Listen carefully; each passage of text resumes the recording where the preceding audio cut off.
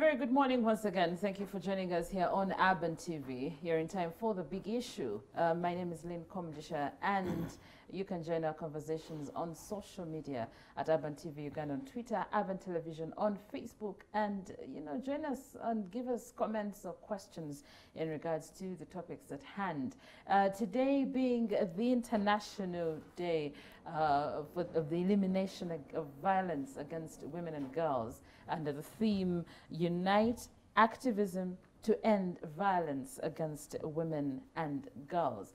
Uh, most of you, uh, we have had conversations over gender-based violence, uh, ending violence against women and girls all over the place. But I need you to know that this is a shadow pandemic in its own way.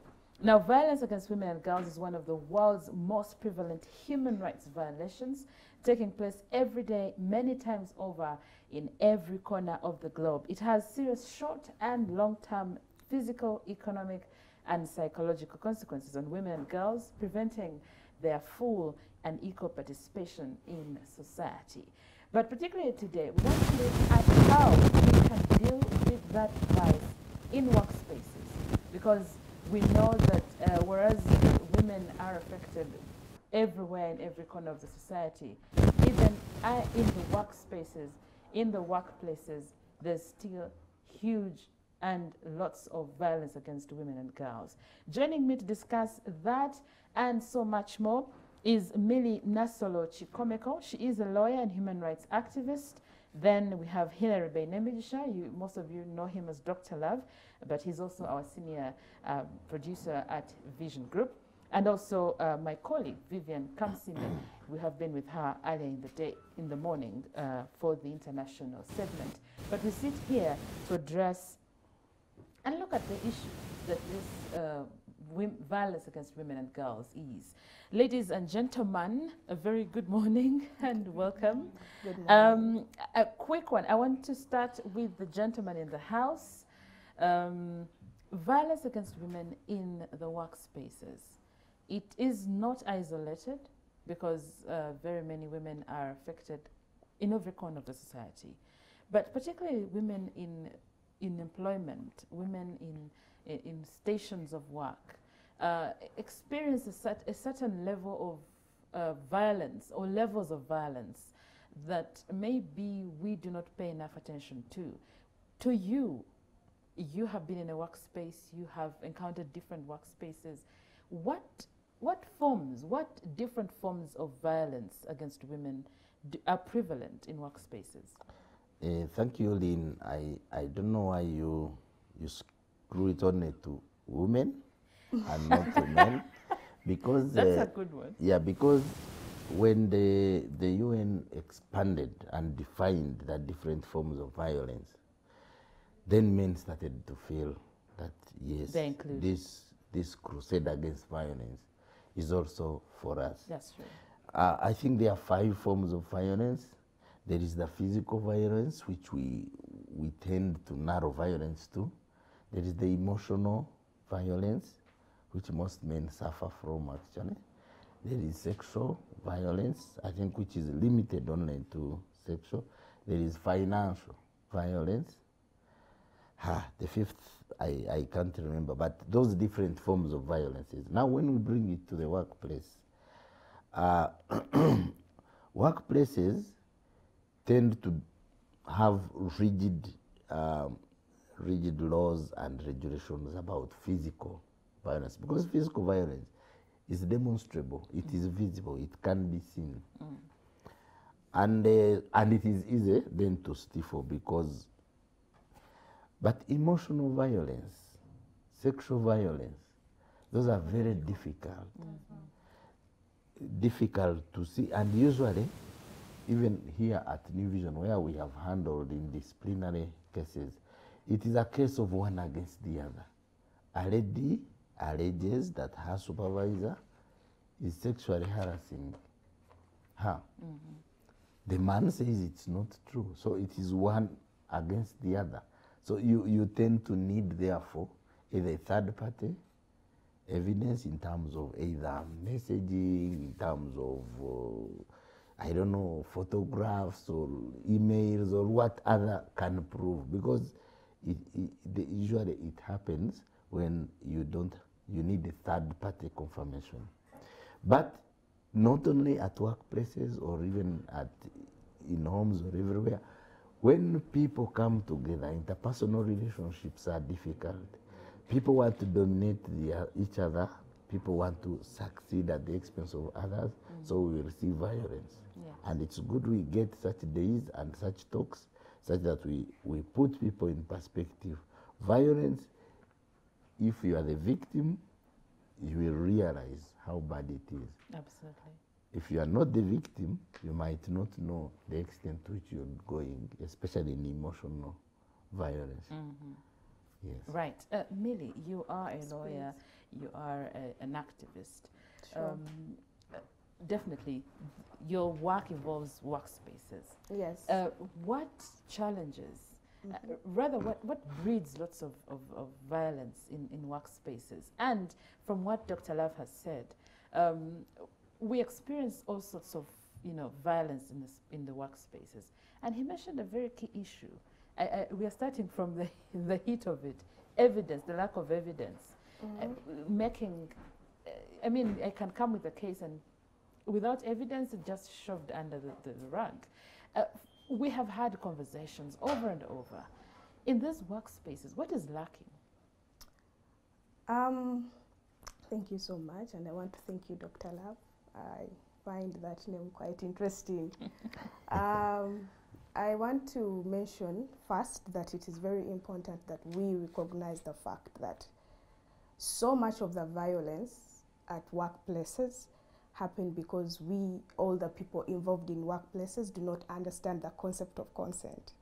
Now, when we talk about um, emotional or psychological, or let's say um, sexual in form of sexual harassment or anything, it, it- it's basically in terms of evidence, it's it's it's based on what is acceptable to a person and what Yes. is not acceptable. Yes. What they could say yes to and what they could say no to, and to what extent they would actually accept something. So why we would all mention that it is uh, probably hard to prove is that sometimes people accept a certain behavior and then sometimes they don't because probably it works for me this time but it won't work for me the next time so we need um, because i believe that this is in four ways because when we speak about um, workplaces, we are talking about four categories of people. We talk about the employers, we talk about the victims, we speak about the uh, perpetrators, and again, the, the people that are watching or the witnesses. So we need to understand the concept of consent, and that's something that employers should teach their employees and they should involve in their policies against violence. So if a person um, understands that if I say no, it means no. Today, tomorrow, when I am happy, when I am sad, when I've gotten my salary or when I have not gotten my salary. If I say no, it actually means no. Yes. So this is something that should be uh, involved in all the policies at work. That when your co-worker says no to a certain behavior, it actually means no, and it may amount to violence in some way. So evidence is really dependent on uh, exactly what I am accepting from you and what I am saying no to. So clearly, I would say that um, what often court look out for Yes. is the degree of acceptance. Wow. If if they did something that amounts to violence to you, did you accept that behavior and did you not do something How do you against measure it? that? So it depends on how much someone said this is no for me and I'm not taking this anymore. What I'm saying here is you know exactly what amounts to violence towards you. It is you. You know, and in a country where the laws are very limited, Yes. we should mostly focus on prevention more than cure mm-hmm. because we understand all the court systems and how everything works, mm-hmm. more especially to these kinds of cases. So I believe that before we even go to the level of searching out for evidence, trying to prove violence at workplaces, more especially the other forms of violence other than physical that do not have physical evidence, Yes, yes. we should mostly focus or put our focus on the prevention uh, narrative, not Yes. necessarily trying to prove that there was There violence was or or there was none. Right, Vivian, what do you make of workspace, workplace violence? A- And from what Amelia and Dr. Love have explained, this, the issue of evidence is always the pro- biggest problem. And many people have really pointed to the issue that you lack evidence. We don't, we haven't seen all this. Uh, what do you make of all that? I think it's actually ironical. And just before we get to evidence, um, the workspace is thought of having or being a composure or a space that has women who understand about legal uh, exposed rights or are thing, yeah. exposed to systems Yes. in society that can actually defend them.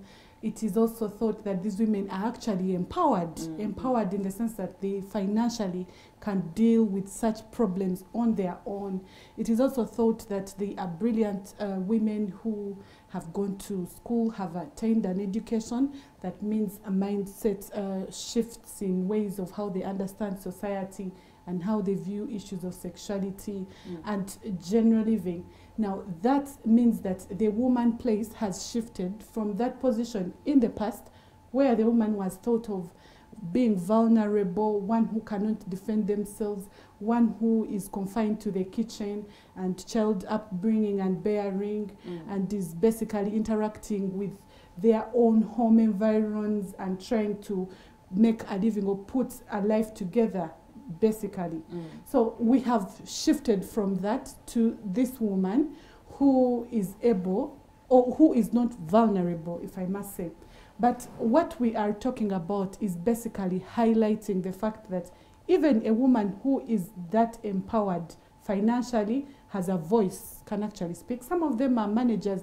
We have women who have risen to the very top of uh, the pyramid in management Mm. when it comes to these corporate entities in business, you know, in the political spaces. Our current speaker is a woman among Anita Among. So these women are also facing violence. And um, before it even goes to courts and evidence is needed, how is this sexual violence able to thrive in an environment like that with a woman who should be able to speak up? Absolutely. So I will be referring maybe more often to the Me Too campaign that started in the United States by a lady called Tarana Burke. Mm. Actually, this year's campaign, the Unite campaign, Mhm. which is being um, put in place by the UN, UN the movement, yes, Mm. this move, Unite campaign Mhm. is basically composed around the Me Too campaign that uh, took place in 2016. And very prominent, outstanding men in our society, the ones we see on TV, the actors and actresses, very prominent producers in Hollywood, the ones who are known to be very successful, Mm. were actually caught to be or to have been in very many years of this sexual assault and uh, sexual harassment allegations in workspaces that they were actually giving us the movies. And like I earlier highlighted, the one of Harvey Weinstein was one of the worst, I think, cases that that Me Too campaign brought. For the first time in all those years, these women were able to stand up and tell the world that we were experiencing this sexual Mm. harassment. Now, what was very interesting about that case was that he said the women who he was doing it to and the affairs he was having, and in all those circumstances, they were consensual. She talked about it actually, she hinted on it. Mhm. When sometimes women accept some of these things to happen, and then Because it helps sometimes them somehow. Yes, and then sometimes they don't want it to be happening to them. So this basically just tells us that um, could it be that women did not understand that they were, their rights or their sexuality was being violated in a way or that they were being harassed? Did they just wake up to this? So I think that uh, women in workspaces who are empowered, because we are not talking about a woman who does not understand what sexual harassment is. They know what it is and they know how to go about it. They have the ability to actually tackle it. And if need be, they can actually be able to take it on. I'm talking about being able to go to court, taking it on in terms of what uh, Dr. Love was talking about. You can report him to the establishments of a company. We have a, an entire act in this uh, company, a Mm. code of conduct that Yes, talks yes. about sexual harassment and sexual assault at work. So those women, first of all, in campaigns like this, are being enabled to understand what composes or what the elements of sexual assault, harassment, and this violence about women So- in so- so- workspaces is. So with all that, with all the knowledge of all that, why is it still prevalent and, and, and why do we still have now to come here and still discuss the same issue? If, if they are aware and have the ability uh, to, to actually not realize that I'm being sexually harassed or abused. Yes, so that is what these campaigns are about to tell this woman that some of these behaviors which you entertain sometimes is actually sexual harassment for you and it shouldn't be going on. Mhm. Like he said, there are very many forms of Yes. uh, sexual vi- uh, sexual harassment, for example, and also violence against women generally. Mm. For example, I have been in a meeting at one time where you are discussing, and because she's a woman, she has a very soft and small voice. and, and then one of Yeah, the chairs is like, speak louder, this is not a bedroom, you know?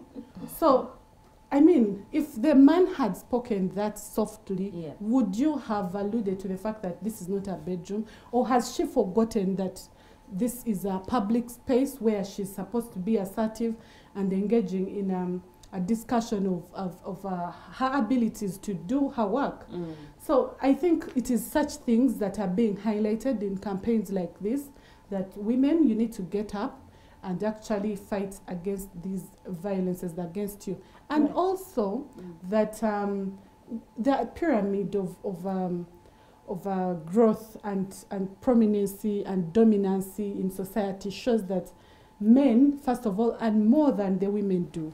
They are on top there. They have the highest managerial jobs uh, in society. They are still way ahead. So bridging those gaps to bring in women who can actually also be at the top of the pyramid in Mm. those in that sense is also something that uh, brings up the fact that you have to deal with these sexual harassment issues and violences against women to bring up the woman to the same table and abilities to actually make an impact on society. Right, Dr. Love, she mentions the issue of, of women being aware, uh, and I still have a challenge. If they are aware, why are they letting it flourish?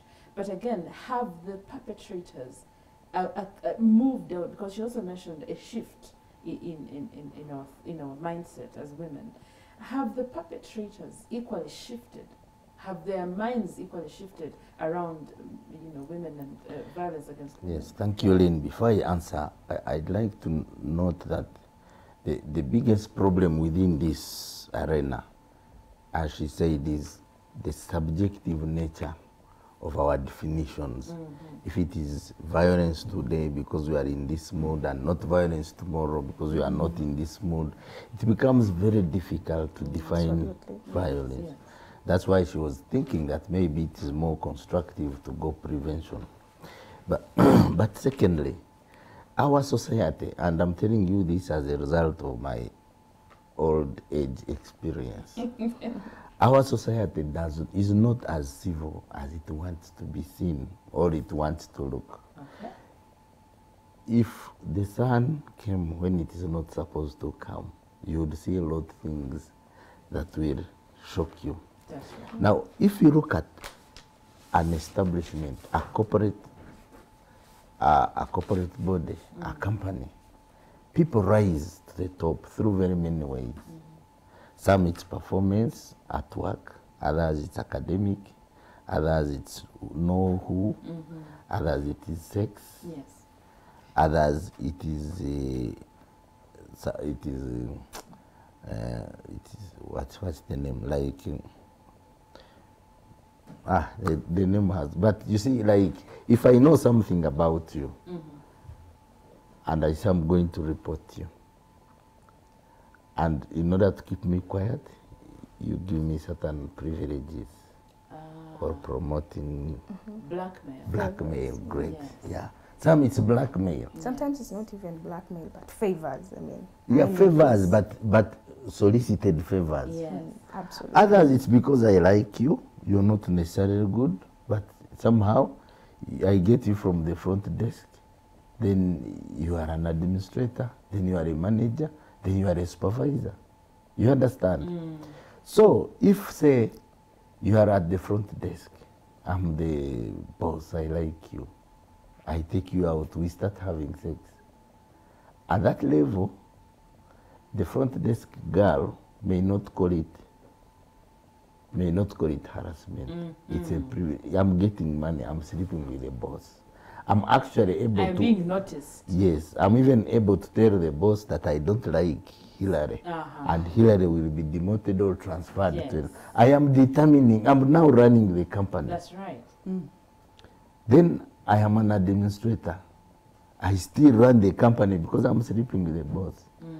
Then when I reach a certain level of supervisor, now I start seeing the boss as harassing me because she, he is interrupting my other relationships I want to make. Now that I have, I am empowered. Wow, wow. I'm in a, in a level where I want the man I want.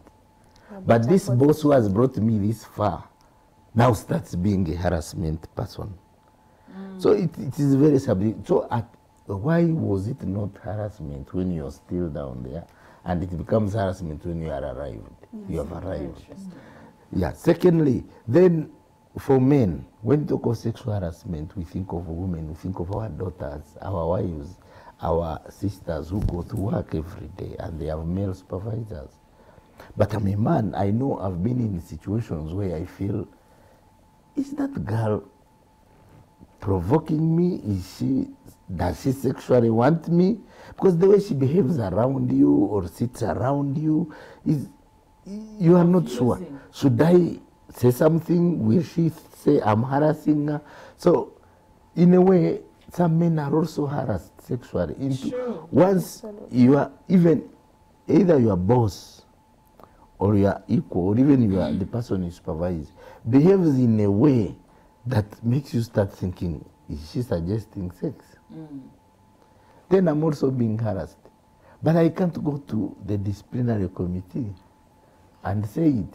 So there is a lot of silent sufferers because these things sometimes either need proof or it's a Are misunderstanding. It may, he- they may not have been harassing you, but for you, your mode was sexual and you thought maybe It was something else. it was something else. Millie, uh, Yes, from what I read from Dr. Love, it, it also seems that some women are uh, perpetrators of their own, the, the violence against themselves.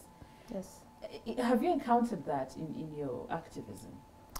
Um, I must say, I thank you for that question, and I pick so much from what Dr. Love said, and I, I, I, I find there is some truth uh, in what he is saying. Sometimes, um, like she, you asked earlier, why, why do we keep bringing on this awareness? Why do we keep this talk ongoing? That's because there's something to learn about every talk. And much as every woman, like if we are talking about the woman at the workplace, much as there's so much to uh, appreciate about the standard, there is so much that reminds us of where we came from. Let's discuss culture. You know, over the years in the African culture, it has it has always been like um, you can subject a woman to any form of violence and that would be okay. We've seen situations where the family itself mm. of a woman would, would want their child, their girl, to understand that it is okay for a man to violate you in a certain way, mm. or it's okay for your elder siblings to violate you in a certain way. Mm. So I think that this is exactly why we have to discuss this not because there is so much information or the woman in the workplace has the information, but because there is so much that tries to pull us backwards from what we do not want to be or what we should not be. So I believe that the same point would make a woman feel like they need that, that form of violence or harassment to get to a point in life that would not uh, make them subject to violence. For example, if if if you are a woman that is in a male dominated um, uh, space for example there are companies that have um, most mostly men in the top leadership organization. And for a woman to get to a certain level of, of, of standard in that particular workplace they need to be they, they need to have some kind of backup. I don't know if this makes sense you know, they need a little push, and sometimes this little push has to come from the perpetrators. So sometimes it makes these women accept violence at a certain level because they want to also dominate at a particular standard. So I think we need to understand that much as I, I- I don't want to rule out the, the fact of provocation, so many women uh, have acted in ways that provoke men into harassing them or into making them feel like they have they have to get something from them. I can't rule that out. But there are also women who are trying to do life fairly. I mean, this is who I am. This is how I am dressed. I'm dressed, or I dress, or I act. But it's not sexually suggestive in any way. I am not calling you on because I am putting on a um, a, lace that shows part of my cleavage. I am not suggesting that you should make any sexual advances towards me. I don't know if I make sense. So um, it is very important that we understand that the perpetrators are not mostly the victims. Because if we say that uh, it, it's basically about how a woman behaves, so they are violated, we are ruling out the fact that someone is sick mentally and they need help. I mean, there are so many women that act and behave in a certain way but lack attention. Yeah. So it's just uh, a perverted mind that draws their attention towards someone that is suggesting in a certain way. So violence is not about the victim mostly, but the perpetrator. And we should deal with the perpetrator first before we deal with the conduct or the behavior because we have seen women that have been sexually harassed or raped and they were, for example, when, when, when, when we, dress, we, we discuss um, dress code at workplaces, you know, some women dress in ways that are suggestive to some, some, you know, some men. But to others, it is okay, you know. If I put on a short skirt, I am not in any way asking the male, um, the male counterparts in my office to come floating on me like I'm a bee.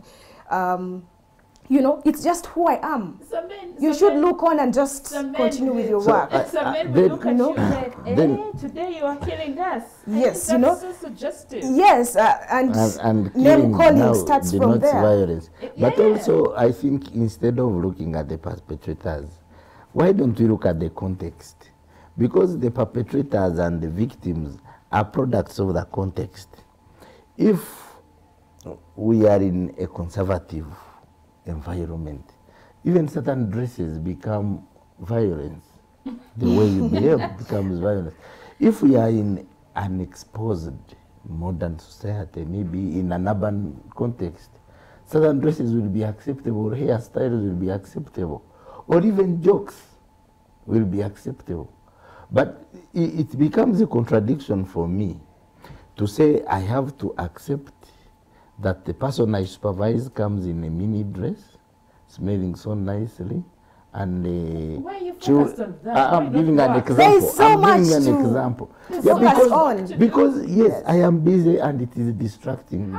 It is also violent. So why why are we going to say that the dressing and the way she chews her food and the way she laughs is not you have time to provocative? But that? when I comment, then it becomes violent. So it, it the, we need the balance because when we, we do that, when we, we come, okay, we are in a, an empowered system, a context where the rights of expression, of wearing, of what is absolute for the person who dresses like that. Mm-hmm. But maybe from my background, I, I came from the 1960s. I am uh, I am have socialized. I'm socialized, but I'm, I have to supervise girls who are, and but and I'm socialized in a situation where we, it will be embarrassing. But I understand. I know because I I you may have even grandchildren who are behaving like Yeah. that. But when I back at you, I want results.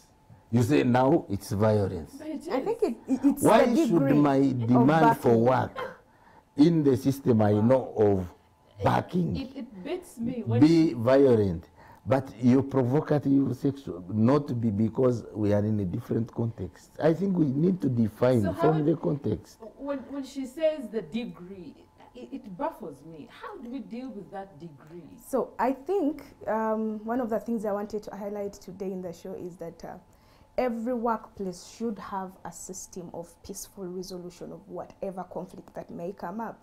I believe that every workplace should have a policy of how they handle misbehavior or, I mean, certain conducts from certain employees. And what misbehavior yes. is. Yes, absolutely. So I expect that at a place of, uh, of work, mm. there should be dress code.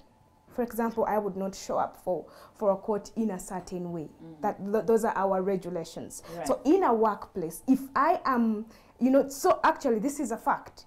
People show up at workplaces dressed in ways they are supposed, actually even in ways they're supposed to, to show up yes. because But it is in the conduct, you know, but uh-huh. they'll still get harassed. Yes. So this is not a point of who is dressed in what and what someone else is thinking. The point is we need everyone protected in the workplace. That's right. You know, we need everyone, regardless of who they are, mm-hmm. their kind of contact, their background, their social status, um, monetary standards, or salary. We need them protected. We are looking at not only women that have gone through a formal education, but every workplace has even women who have not attained any kind of uh, education at That's all. true. And we expect these people to also be at the same level with everyone else with PhD or masters and all that. I I think So- it comes back to mindset. Absolutely. And, and respect. I mean, if I meet uh, you for the first time, I should respect you the way you are, whatever it is you Uh, represent. you Yes, see, you see, absolutely. Lynn, before you go there, Yes, and when you say it comes back to that, it's very risky to trust it to be You on mindset. definitely. So that's why we have to have regulations Yes. and, set follow the them. standard. yes. Yes. Otherwise, people are so different from their perspective. Mm-hmm. But now also, for the victims, like me, I've been in, in, in a, an employment situation for long. Mm. But the disciplinary cases we have had about, for example, harassment or even violence, come after the victim has suffered an injustice, for example. So it becomes difficult. Like, um, let me give you an example. You come and report that your supervisor is harassing you just because he has removed you from a certain committee or he has removed you certain rights from you. So you want to associate it to some sexual harassment, some sex that you refused, for example. Yeah. So you say I, now when it comes to us, because as she noted, the, the, the evidence is not there. When we are determining whether violence occurred, we said what motivated this person to report? It is because she lost certain rights, then she came to report. So But- then, but then you times it is doubt. the issue. Most Yeah, times is So why why didn't she? Yeah, why didn't she report before she lost certain rights? Such that we do not see any motivation. I don't know if you understand. it, I so for our our our our viewers, if you're receiving a harassment, it's better to report it. Immediately. It, it becomes easy to understand. But if you report it because you have lost, like if if if there was a good program that has money, and you are in charge, suddenly you are removed and they put someone else. Then you come and say it's because he wanted sex and I And I didn't mm. give. It could be you, you lying to get back to the other person. So you bring in a doubt, and yet maybe it could be true. So you, may, you make it I, I need to difficult. engage Vivian here. Mm. Vivian, uh, globally, we're, we're talking about a lot of things. You brought up Me Too. There was a time there was he for she. Now we're looking for positive masculinity being a critical lens uh, through which we can reshape masculinities in ways. And they're saying that uh, uh, the campaigns such as He for She and other local initiatives across Africa uh, in, explored in, innovative solutions to engage men and boys from all walks of life. Here, Hillary was highlighting that men are equally violent sometimes. The other day we had we have a we had a conversation, and we someone said that they were also violated in a certain way. The issue of positive masculinity. Uh, can we, when you talk about mindset in in the employment uh, space, I feel like the positive masculinity is lacking greatly in most men, and uh, I, I don't want to tag it to culture. I don't. What do, what is the problem really? um, seated here and listening to these to the lady and the gentleman um, brings me to a very key issue that um, came to light that time of the Me Too campaign. Mm. By the way, there's also the Him Too campaign later. yeah. Was the fact that all these gentlemen, when they brought before court, said at the time those harassments or allegations were committed, they were consensual. So it brings up what he was talking about that um, it's happening, it's happening, and it is going on, and no one is happen. reporting. Mhm. And then when a certain right is removed, then it comes up to light. So at that point, then the boss or the supervisor will say it was consensual. These were Mm. two grown adults who were having a thing and a good time, and therefore it shouldn't be seen as sexual harassment. But going up to what you're talking about, I will highlight from that worldwide campaign to our society. Mm. Remember that we are an African society with different traditions and ways of how we live. Mm, mm. So, w- I, I will um, talk about one of the most prominent women activists in this country, Dr. Mm. Miriam Matembe. She once said that when the NRM government came to power, the first thing and one of the thing, things that was key then was the women question. Mm. The women question was high up on agenda. Mhm. And it is one of the major, major things that have happened in Uganda that brought a shift in the cultures of how we live and see women and all these different gender based violence campaigns and fights against how society is actually composed Mm. including some of our um, cultures like uh, genital female genital mutilations so these things have since had shifts in how um, we lived.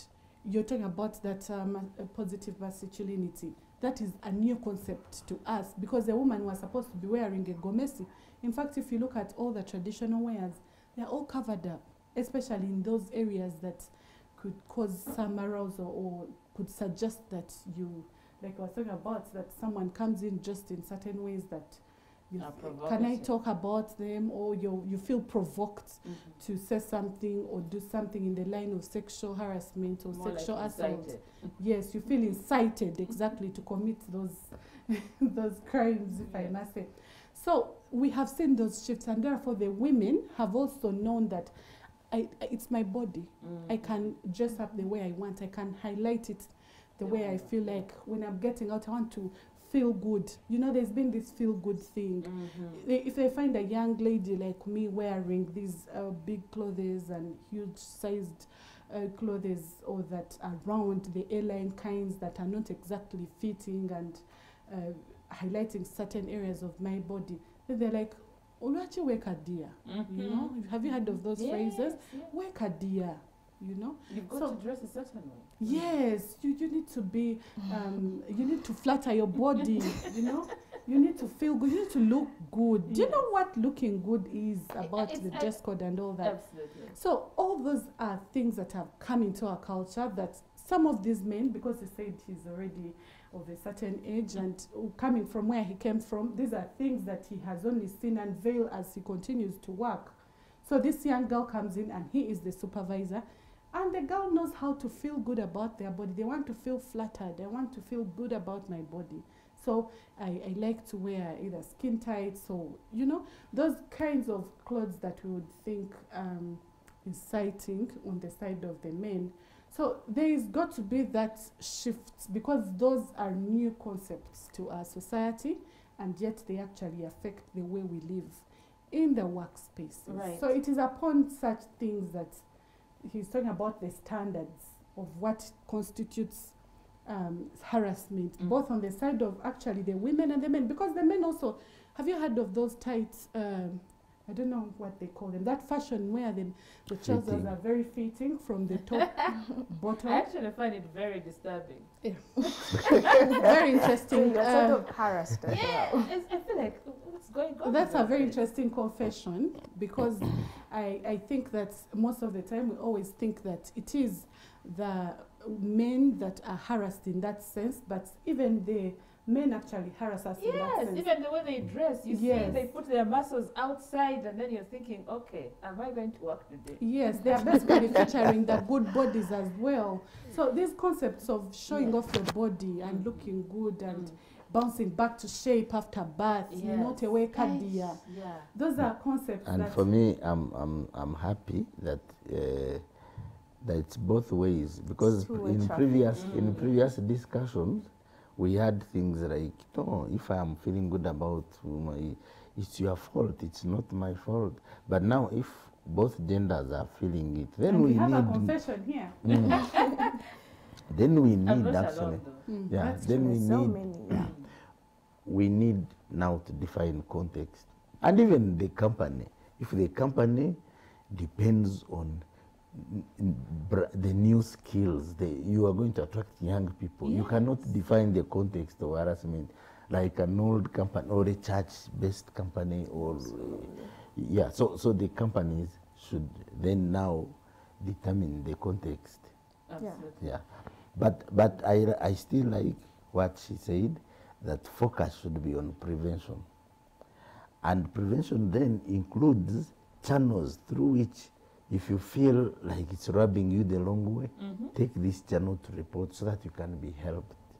You don't wait to be helped when things are getting, Okay. getting out of Uh, Minnie, you, you you seem to have w- wanted to say something, but I Um, also want us to address the issue of the laws, the policies in place, as, Yes. as we actually wind up, because we are, it Okay. seems time is fast spent. Yes. Okay, thank you so much. And uh, well, before I talk about the laws and policies, Mhm. I want to mention that, like like you both said about um, dress code and acceptance, like a vivid example would be in uh, churches. If you have been able to experience church weddings, Yes. uh, there are churches, particular churches, that do not allow brides to go in for a marriage ceremony with their with with half of the Mhm, gown, so they have to Strapless cover up. gowns. Mhm. So and uh, then some you would go however way, and then civil you can even put on a mini, I mean dress for your wedding gown. Yes. So it, it it's I I appreciate when you say that it should be up to also date. For example, if you're trying to draw a certain crowd or trying to pass on a certain information. For example, imagine if Lynn you showed up on this show with a Gomesi. I mean, how much attention of the young people would you draw actually? You I- know, wonder, in a culture where, recently. I wonder. you know that that was ceremonial Yes, for us, yes. but I mean you would not show up like that. Yes, So I absolutely. believe that the question should be right now: Are the women in your place, in your workplace, safe? This is a question that we ask everyone, not just Yeah. the, the, the, the employers, Right. but is the woman in your workplace safe? So, do you have the policies? I mean, every institution should have a policy in place. Mm. That is the first thing. Um, not just about dress code or conduct, but what should happen in case anyone faces a particular form of violence. Now, I am talking about something like if, in case you have been violated in a certain way, because violence is about how you are made to feel. Mm. For example, if we talk about emotional or psychological, this is in my mind. It's not physical. I have no evidence, but I feel violated in a certain way. For example, if my male boss makes a comment in the boardroom and I feel like I am offended, what should I do? Yes. So, policies should be in place and they should be followed to the dot, and there should not be any exception. And to everyone that is in any workplaces, because are you doing the right thing? Mm. It's just logical. Are you oppressing someone? Can you stop? Or if you are the supervisor, the human resource manager, and a complaint is on your desk, would you be fair to act regardless of who else is involved? Yes. Sometimes we see um, bosses that are harassed by their workers as well. It's not just um, uh, workers that are harassed by, by their bosses. Sometimes it's the other way around. So, are you safe? Is someone in your space safe?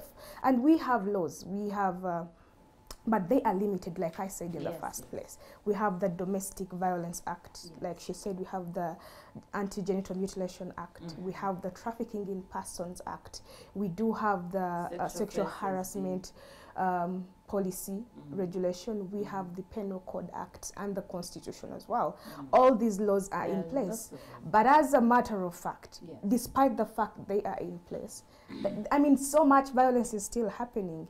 The physical violence, and I would want to probably, in that co- context, speak that much as there is a law, but still, like we started, there is need for concrete evidence because courts courts do not act on emotions. Mm. I mean, we they need to see what your allegation is, prove your allegation. For example, if it's physical violence, someone harasses you today, tomorrow, and you do not care enough to, to, to get this evidence, you know.